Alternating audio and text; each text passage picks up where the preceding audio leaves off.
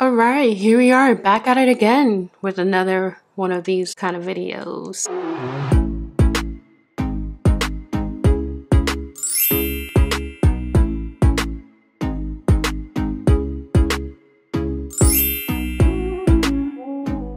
While we're at it, make sure to hit that subscribe button and uh, let's just watch and vibe.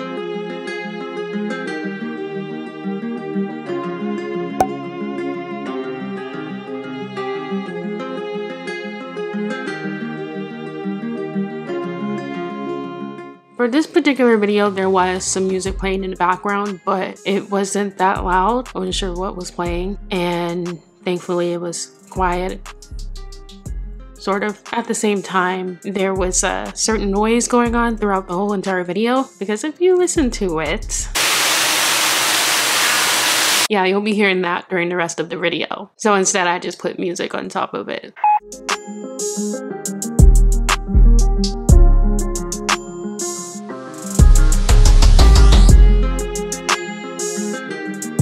That slush.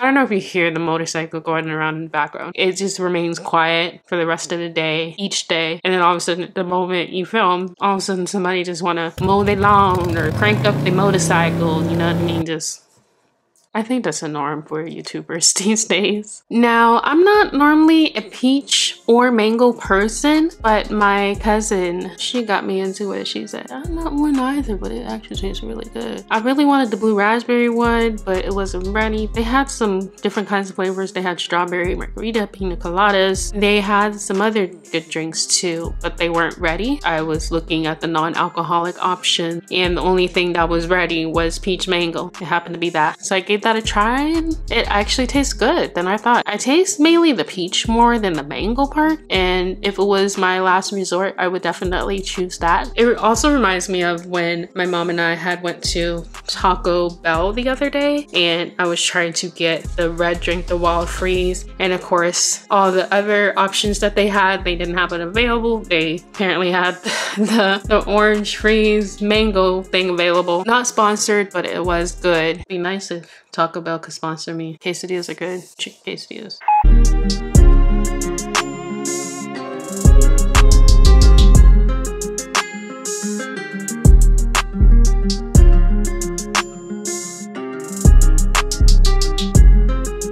Please forgive me if I sound ignorant. Going into aquarium, I couldn't understand why there were monkeys and birds in the aquarium. I didn't quite understood that. I was pretty lost. People who study the sea, aquariums and stuff, please let me know in the comments down below what's the point of that. Just please educate me on this.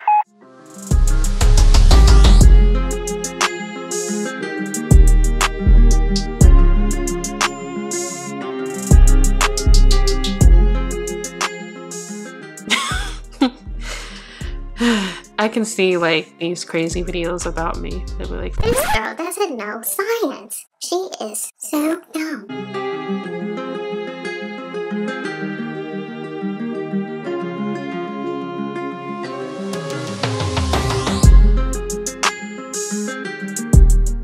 Then there was this cutest sloth that I saw. Oh my gosh, she was so cute, adorable, and beautiful. It just makes me want to just want to pet her and hug her. But clearly, if um touch it, she just may claw my eyes out. According to uh, Google, it don't touch them.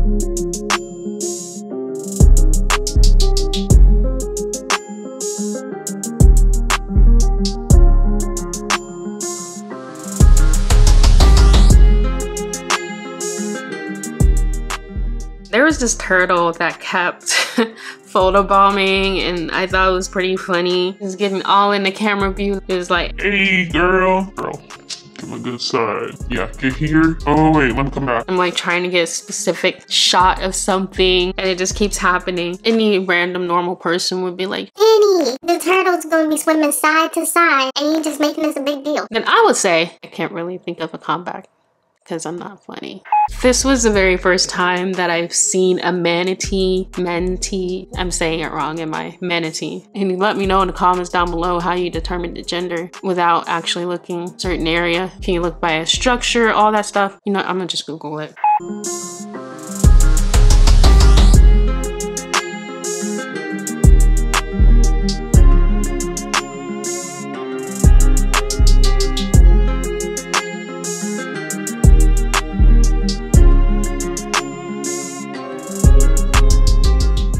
Another thing that caught me off guard was when we came across penguins. And here's where my ignorant knowledge comes in. Ignorance. I know nothing. With the heat going on in Texas weather, I assumed that penguins are mainly into cold weather. Obviously, I was wrong because penguins can deal with heated weather too.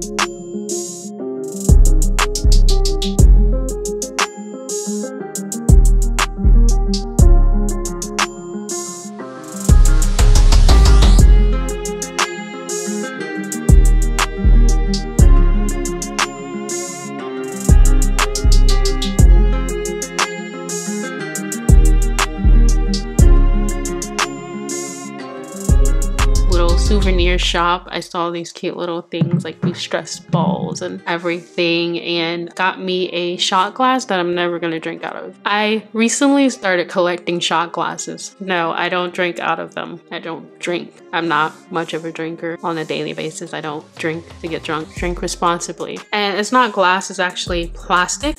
But I'm sure if I throw this on the floor, it's gonna break anyways. It's not glass. Okay, I looked up on some things about the purpose of aquariums, looking on an article, something about top seven benefits of public aquariums. If you want to go read it yourself, I'll put it in the link in the description down below.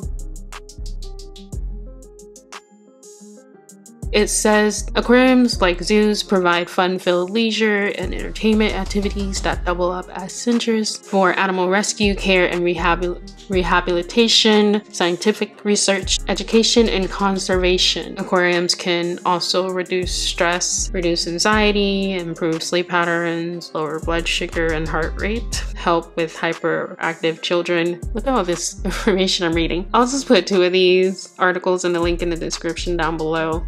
I'm not much of an outspoken person. There are two different sides to what people think towards that. I'm on both sides honestly. I like how some areas that you came across animals that actually has a lot of space where they can move around. Like I said, I am on both sides on this. There are some tanks that I don't really agree with. It makes me wonder, are the animals truly being taken care of? How I honestly feel. I don't want to go further into it because I feel like it's gonna cause a fight or anything. I guess you get my drift. Before even considering doing this video, I wasn't sure whether to post it or not because I know how people can be how they could look at you and be like, Animal cruelty. Isn't that? And you know, I've looked at other channels who did aquarium videos, things like that. And I came across was like maybe like six, seven months ago, and they were getting pretty positive comments. And I was like, you know what? I'm gonna go ahead and post it. So I'm not sure how this video will turn out to be. I'm not looking forward to the negative comments. I should stop talking before I make things worse. Anywho, you guys like the video, make sure to give it a thumbs up, subscribe if you haven't done so, and I will see you guys in the next vlog, which is tomorrow. All right, bye.